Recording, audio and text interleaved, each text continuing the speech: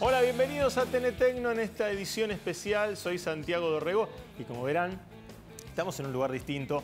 Federico Bimayer no está, de hecho, este, sigue vacacionando. ¿Podemos decirlo? Le digo a mi productor Gustavo, ¿podemos decirlo? Sí, sigue vacacionando y nosotros acá tenemos que este, salir este, con un programa porque si no ya este, eran demasiadas repeticiones. Vamos a hablar del Mobile World Congress. En este programa especial estuvimos en Barcelona con nuestros enviados especiales Alejo Zagalski y Alejandro Vieira en Barcelona para traerles todo el material de lo que estuvieron presentando en la feria más importante de celulares del mundo que se da cita todos los años allí en Barcelona alrededor de esta fecha.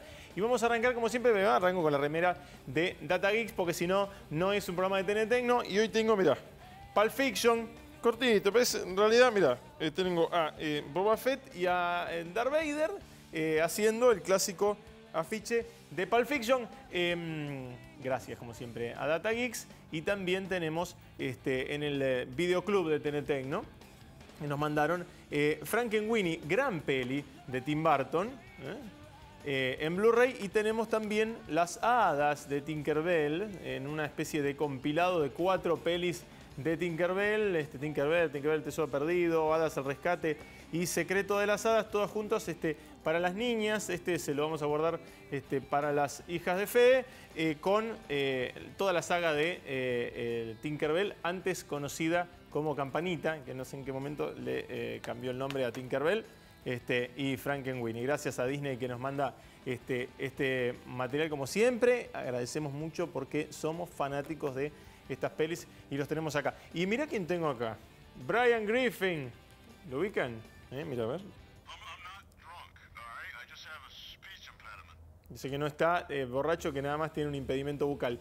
es Brian Griffin, el perro de eh, Family Guy, como siempre, este, que aparte ahora ya es famoso, porque viste que Seth MacFarlane condujo los Oscars, entonces este, eh, tenemos una especie de celebridad este, como conductor de los Oscars, autor de eh, Family Guy, este, un dibujito muy, muy gracioso, y este... Brian Griffin, el, su perro, su mascota, gracias, SW Toys, única gente que puede llegar a conseguir esto acá en Argentina. Pasado ya estos, este, estas cuestiones, vamos a meternos ya en eh, este programa especial y vamos a meternos en lo que está pasando en Barcelona. En realidad, estuvo pasando a lo largo de esta semana. Eh, son cuatro días muy intensos de preparación y de presentaciones. Ha crecido muchísimo la feria de celulares de Barcelona, el Mobile World Congress, eh, que reúne a 70.000 personas y que por primera vez este año se hizo en el recinto eh, Gran Vía, eh, eh, Gran Vía de Fira de Barcelona, antes este, lo, hacían en el recinto Montjuic, son distinta cantidad de metros cuadrados, ahora hay 94.000 metros cuadrados de stands, eso habla del crecimiento del Congreso de Celulares más importante del mundo, donde las principales empresas, y de hecho este, ha sido el lugar elegido por las empresas asiáticas que vienen creciendo muchísimo, ustedes saben que el principal vendedor del mundo de smartphone es Samsung, el segundo es Apple y el tercero es Huawei.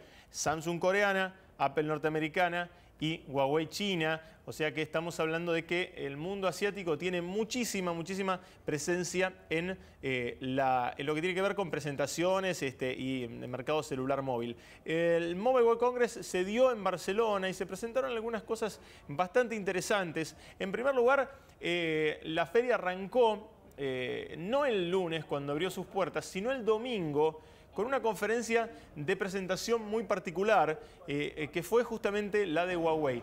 Huawei presentó el celular más rápido del mundo, así lo llaman ellos, y así probaron este, con su velocidad que era el más rápido del mundo, que es el Huawei Ascend P2.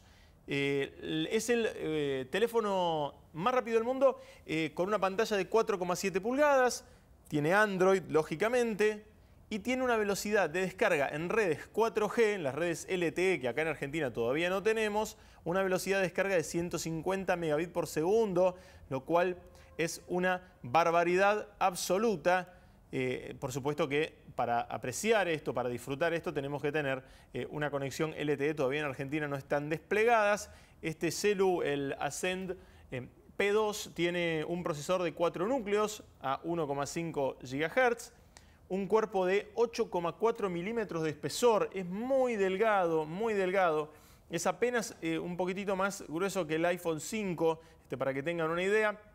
Una cámara trasera de 13 megapíxeles, 13 megapíxeles. Háganse la idea de que los teléfonos van a empezar a ya tener eh, cámaras de arriba de 10 megapíxeles, pantalla táctil, como les decía, de 4,7 pulgadas, con Gorilla Glass, el, eh, cristal que más utilizado en los smartphones, muy resistente, y además mm, un desarrollo especial en eh, la batería. Ellos dicen que consume 30% menos que el celular de la competencia, el celular de la competencia todo el mundo sabe que es el Samsung Galaxy S3, que es el, celular a batir como el más importante del mundo. Bueno, ellos dicen que la batería de ellos eh, eh, gasta un 30% menos, entonces lógicamente el celular dura más, algo importantísimo porque con un celular tan potente eh, ustedes saben que últimamente uno se está quedando eh, sin batería a la mitad del día o redondeando el día.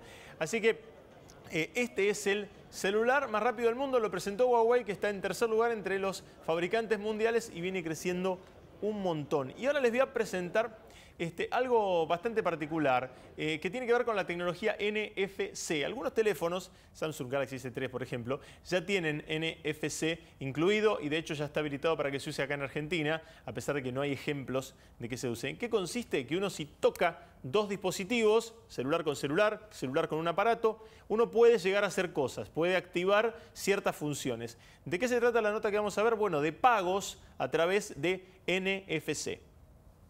NFC es una tecnología que me permite comunicaciones eh, a muy corta distancia y sin contacto. Generalmente asociamos NFC a los pagos con el móvil, es decir, llevar aquí mi tarjeta de crédito.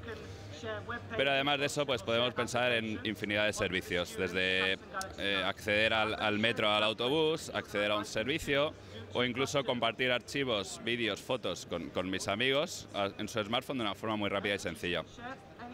En este caso, en una, en una máquina de vending, pues la operación sería muy sencilla. Simplemente acercaríamos el, móvil,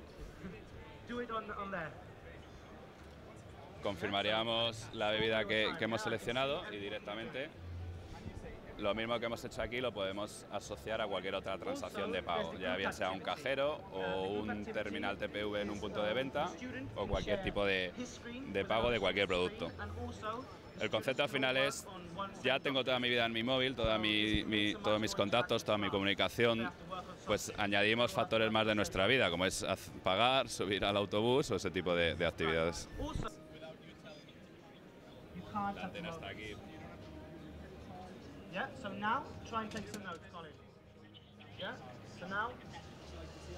She is the presenter. ¿Estaremos en el futuro sin billeteras y con solo el celu, eh? conectado a nuestra tarjeta de crédito, pagando por NFC? Bueno, no sé. Lo cierto es que hay otras cuestiones que pueden hacer que la plata, en lugar de salir de nuestra billetera, entre un poquito. ¿De qué se trata? Bueno, una empresa desarrolló una aplicación que cada vez que vos llamás te tira un aviso. Y vos decís, ¿eso está bueno? No, no está bueno, salvo que te paguen por eso. Mirá. Hemos eh, lanzado al mercado hoy mismo una aplicación que lo que realiza es poner publicidad en el teléfono móvil justo antes de la llamada y el usuario cobra por recibir este anuncio. Además también puede recibir cupones de descuento, otras ofertas interesantes, incluso valorar la publicidad para que el anunciante reciba un feedback de esta publicidad. Yo aquí tengo, este es la pantalla principal de la aplicación, pero si yo me voy a hacer una llamada, por ejemplo, vamos a hacer una llamada aquí, yo le pongo marcar y en este momento se está emitiendo un anuncio justo antes de la llamada.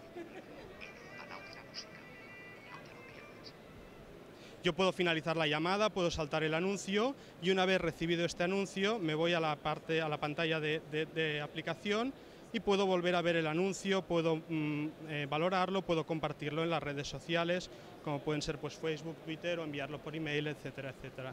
Y en definitiva esto es lo que estamos promocionando durante estos días, que hoy hemos hecho el lanzamiento para Android y también para iPhone. En Argentina tenemos pensado expandirnos al mercado latinoamericano en breve, es decir, la idea es salir al mercado español, pero expandirnos principalmente al mercado latinoamericano. Argentina eh, podría ser uno de los primeros países en expandirnos.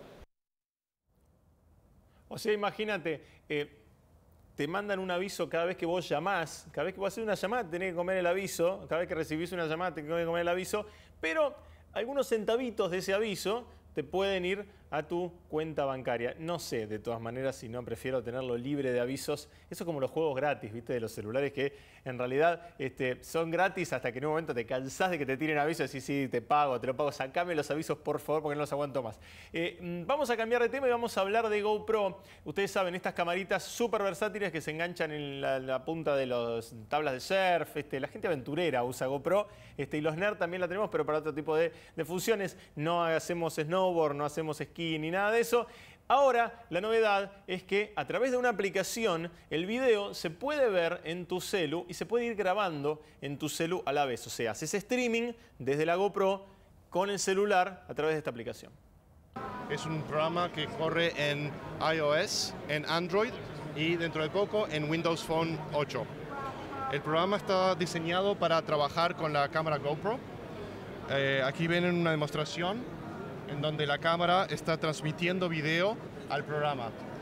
Eh, el programa tiene varios botones que me permiten controlar la cámara y puedo, ahí, ahí si la sostienes, ahí está. Puedo aquí mostrarles más grande el video. Se puede ver en forma vertical o apaisada. Lo interesante de cómo funciona esto es que la cámara en este momento está hablando con el teléfono, o en este caso un iPod, en forma a través del Wi-Fi.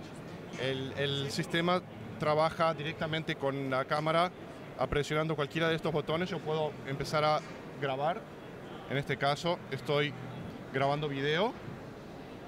Me indica aquí en el indicador que está en rojo hasta que está grabando el video y también la resolución que estoy usando.